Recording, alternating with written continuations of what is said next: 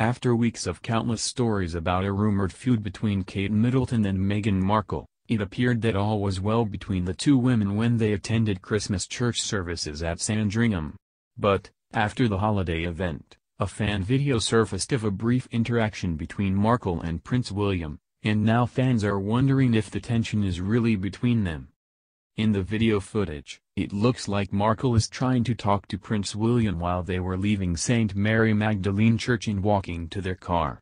But, instead of acknowledging Markle, Prince William appeared to be more interested in fixing his scarf.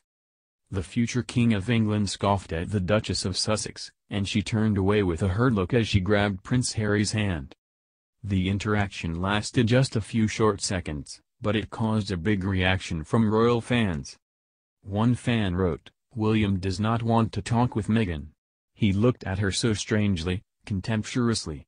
I even felt sorry for Meghan. Another commenter wrote, It is just sad to see division between them. They have always had each other's back. Some fans believe that the short video clip of Prince William apparently giving Markle the cold shoulder was proof that there is tension in the family, but the question is who is the trouble really between? Is it between Meghan and Kate, Meghan and William, or William and Harry? Or maybe there are numerous issues between the royal Fab Four? According to the Daily Mail, there have been reports of tension between William and Harry because last year William questioned whether Meghan was a suitable wife for a high-ranking royal.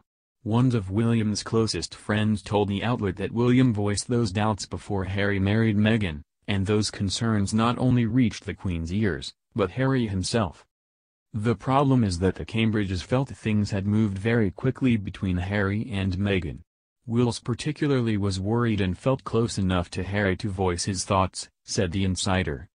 The source added that the two couples walking into church together like they did last year was uncomfortable and awkward, considering what has been going on over the last 12 months.